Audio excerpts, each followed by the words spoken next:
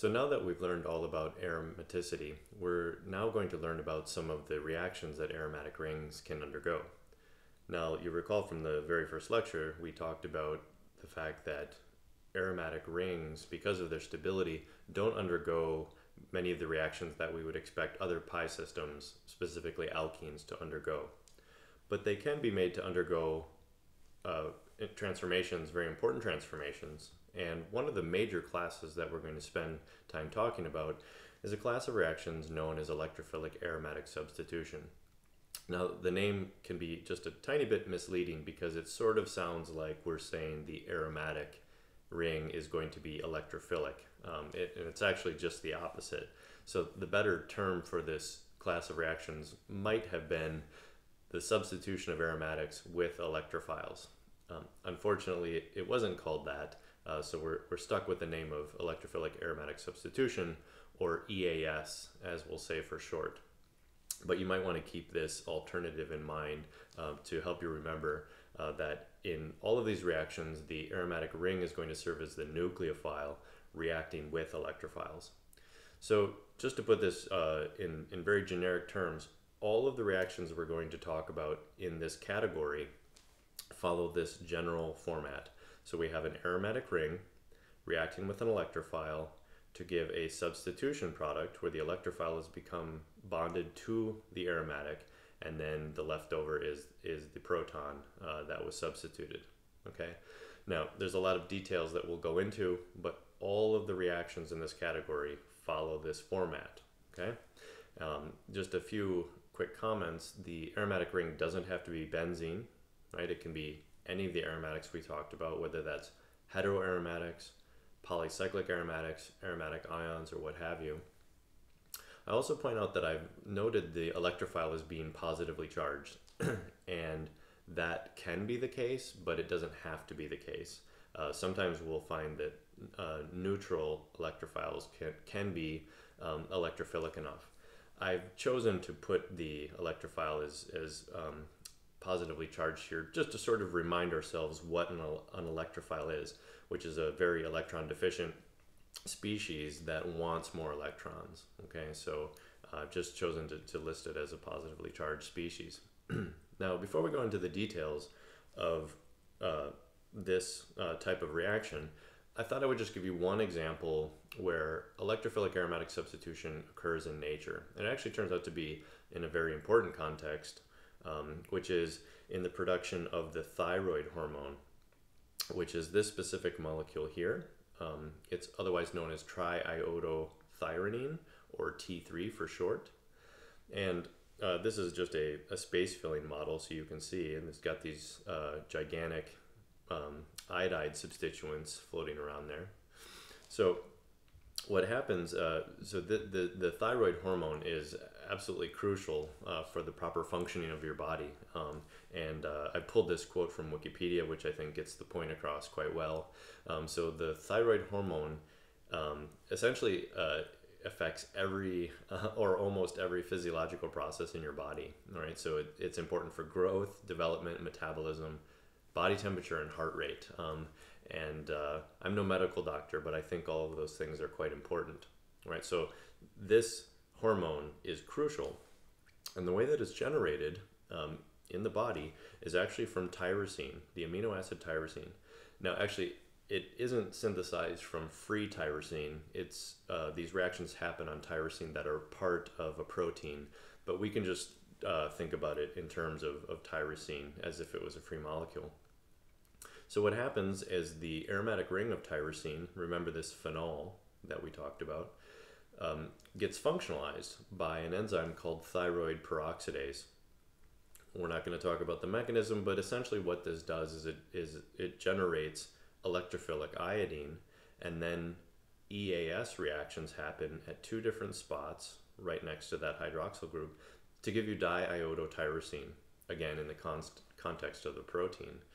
And then through um, a whole series of other processes, that diod- diiodotyrosine, sorry, it's a mouthful, gets converted into triiodothyronine. And in fact, there's actually a a T4 molecule where there's another iodine on this as well. That's actually the, the pro hormone.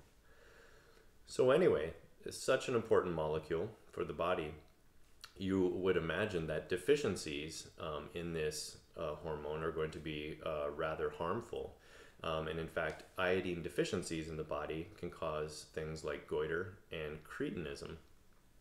Uh, iodine deficiencies are actually quite common throughout the world. Um, uh, upwards of, of 150 million people worldwide are uh, affected by iodine deficiencies, and so it's actually quite a big problem. Um, but it's also easily solved. So y- you can uh, get proper iodine content um, from seafood, uh, where iodide is, is quite uh, abundant in the sea. And also, uh, the way that it's been solved, at least in first world countries, is by adding iodide to table salt. So you might have seen in your um, on your container of salt at home uh, where it says on the side that this salt is iodized. And that's the reason. It's so that you're getting sufficient iodine in your diet uh, to make this thyroid hormone. And again, the way that the body does it is with this type of chemistry that we're going to learn about.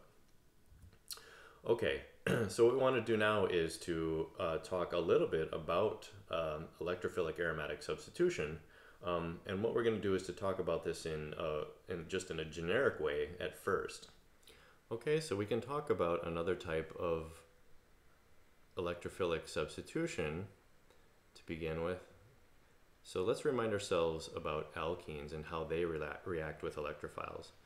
So if we have an alkene, you will recall that in the presence of an electrophile, that pi bond can be nucleophilic, react with the electrophile, and that's going to go to give us this type of intermediate, right? The electrophile has become bonded to one of the carbons, and that leaves behind a carbocation.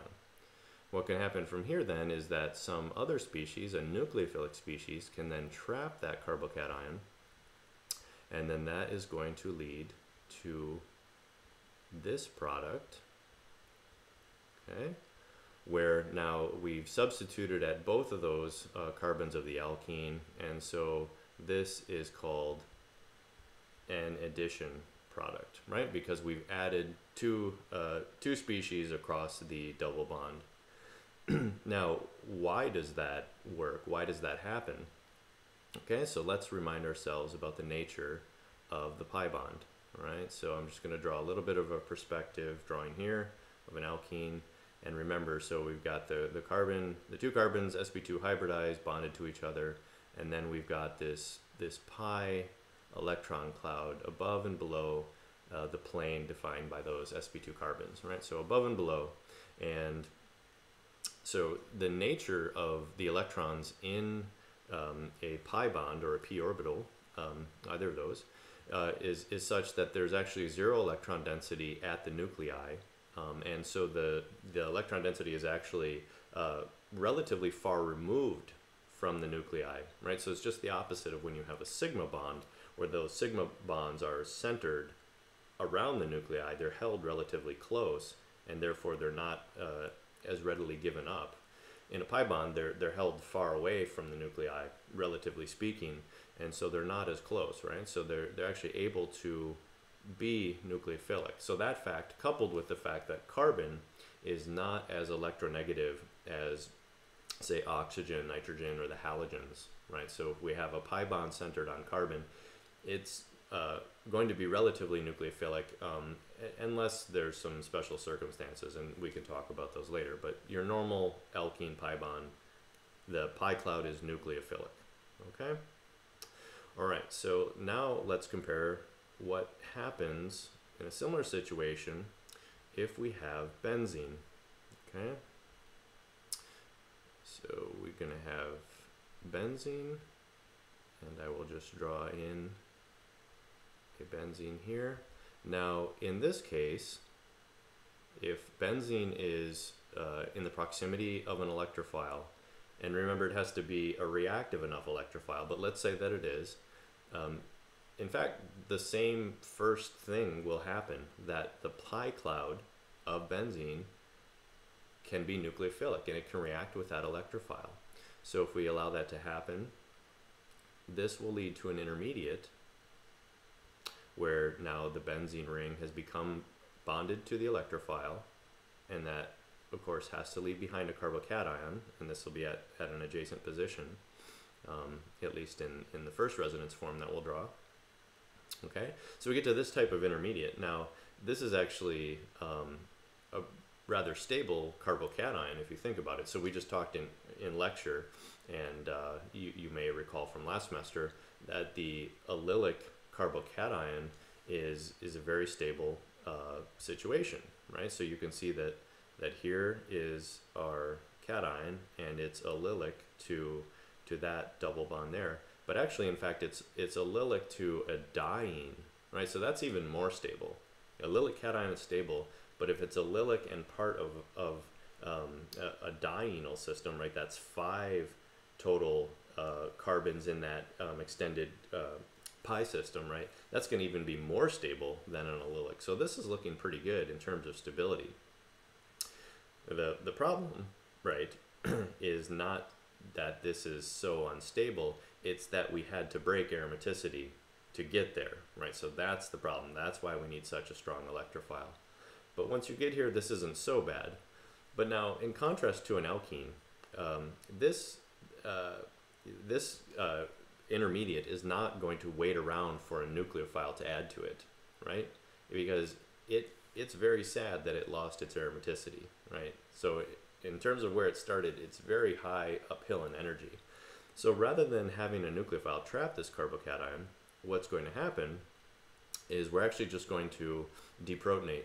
We're going to get that pair of electrons back and regain our aromaticity. So what's going to happen is that there's going to be some base, and um, the the base might change based on it, what exactly what reagents we have in there, but uh, it doesn't matter that much. This is a, an extremely simple, easy deprotonation to do. Okay, so it doesn't take much of a base at all to make this happen. Um, and so the base deprotonates.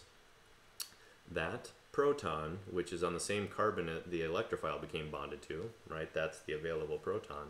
And then that pair of electrons gets to reform aromaticity.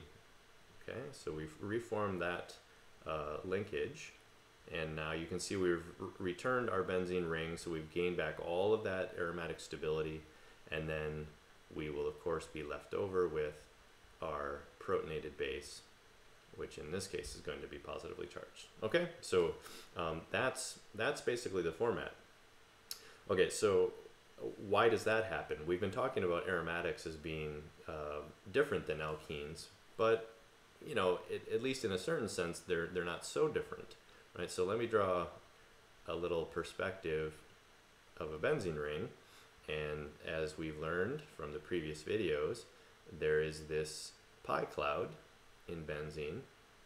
And uh, in, in some ways, that pi cloud really isn't any different than any other pi cloud, except that it happens to be circular.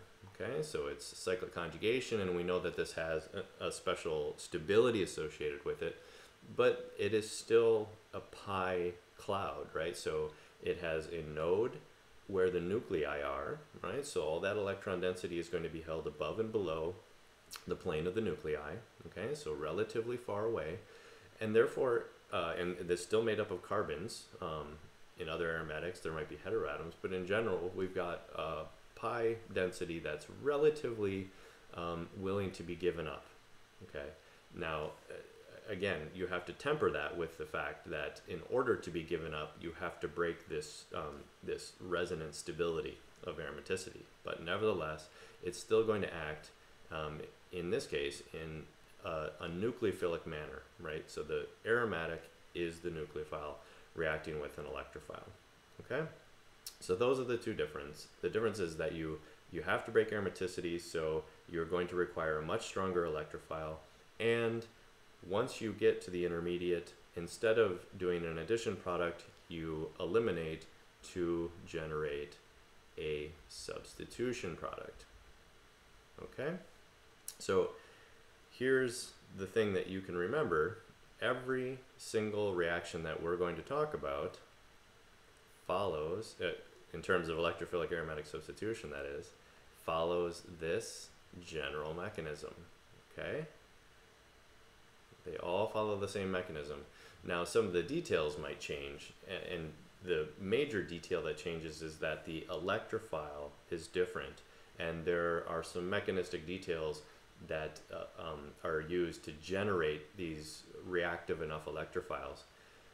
But in terms of the actual chemistry that's happening on the aromatic ring, it all follows this add and eliminate the proton. It follows that scheme. Okay, so it might be worth you spending just a little bit of time um, committing this general mechanism to memory because you're going to be able to apply that in all of the other EAS mechanisms, mechanisms that we're going to talk about. Okay, so in the next video, we will start in and talk about a uh, specific um, uh, electrophilic aromatic substitution uh, set of reactions um, where we're going to add halogens to the aromatic ring.